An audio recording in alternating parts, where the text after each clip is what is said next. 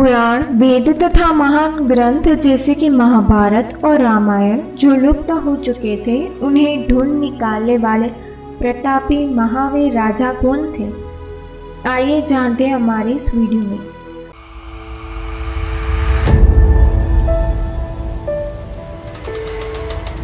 कुरुक्षेत्र में जब पांडवों और कौरवों के बीच भीषण युद्ध हुआ तब समस्त विश्व के राजाओं ने युद्ध में अपना अपना योगदान दिया। और प्रलय कारक विनाश के बाद द्वापर युग का अंत होकर कलयुग का प्रारंभ हुआ।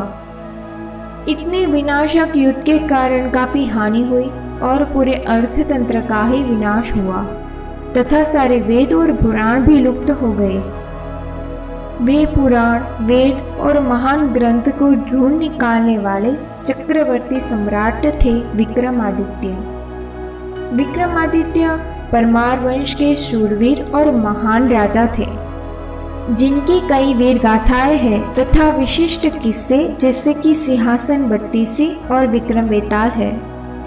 विक्रमादित्य के समय में उज्जैन नगरी सोल कलाओं से खिलौटे थे। संस्कृत में उज्जैन नगरी का नाम विशाला भी है।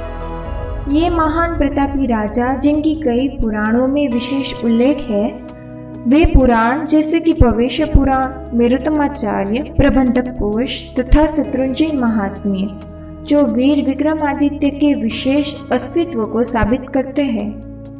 वीर विक्रमादित्य के बारे में प्राचीन अरब संहिता में भी वर्णन मिलता है। विक्रमादित्य का शासन अरब और मिश्र तक फैला था।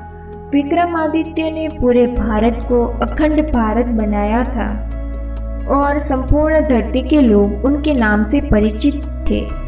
इतिहास में कई राजाओं के नाम के आगे विक्रमादित्य लगा, क्योंकि विक्रम आदित्य की प्रसिद्धि के बाद राजाओं को विक्रम आदित्य की उपाधि दी जाने लगी।